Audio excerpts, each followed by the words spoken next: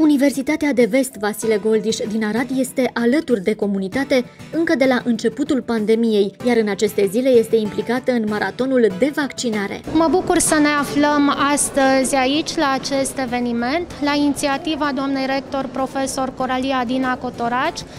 Facultatea de Medicină a răspuns uh, rapid la inițiativa organizatorilor a Primăriei Municipiului Arad de a fi partener la acest eveniment, la acest maraton de vaccinare.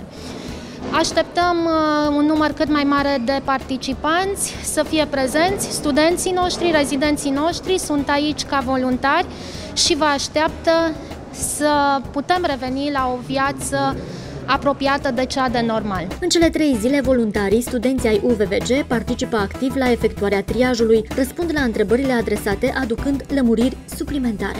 Evenimentul de acest weekend este unul foarte frumos, în opinia mea. Este foarte necesar să vaccinăm acum oamenii cât mai mulți, cât mai des.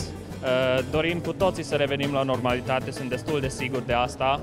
Vrem să mergem la nunț, vrem să mergem în oraș cu prietenii, vrem să ne adunăm acasă după ora 10. Implor pe toată lumea ca să vină să se vaccineze. Nu a existat niciodată uh, o oportunitate mai bună, mai ușoară și mai sigură. Puteți să veniți să vă vaccinați fără programare, doar cu buletinul. Uh, e foarte important ca să scăpăm de pandemia asta care deja e de un an de zile, care efectiv n-a epuizat pe noi ca și medici, dar ca și oameni. Numai vaccinarea singura cale să scăpăm de asemenea pandemie. Studenții sunt implicați activ în procesul de vaccinare, ei fiind cei care vă măsoară tensiunea arterială pre- și post-vaccinare, dacă situația o impune.